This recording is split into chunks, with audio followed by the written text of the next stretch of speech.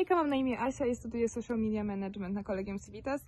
Mój kierunek wybrałam głównie dlatego, że chciałam studiować po angielsku, ale także dlatego, że chciałam poznać e, super ciekawych ludzi z różnych kultur i całe szczęście mój kierunek e, ma masę super ludzi, e, z którymi mam super kontakt, z, są z różnych części świata, z różnych kontynentów, z różnych krajów.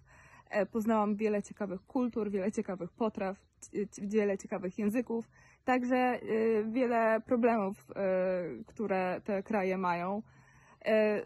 Wydaje mi się, że studiowanie social media management też jest bardzo ciekawe, dlatego że jest praktyczne. Tam prawie nie ma w ogóle teorii, tylko ewentualnie socjologiczne, ale y, wykłady są bardzo ciekawe i y, przede wszystkim nastawienie jest na praktykę, praktykę, praktykę, czyli tworzenie postów, tworzenie grafik, tworzenie y, nawet kampanii reklamowych.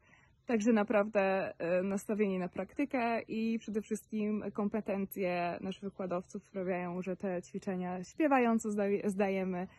E, Także tak, myślę, że studiowanie na Kolegium Civitas jest bardzo ciekawe i na pewno nie będziecie żałować, jeżeli e, z- wybierzecie social media management, przede wszystkim właśnie przez kultury, przez język angielski i także przez em, nastawienie na praktykę na pewno wyjdziecie z tych studiów e, z mega wielkim doświadczeniem i z super portfolio.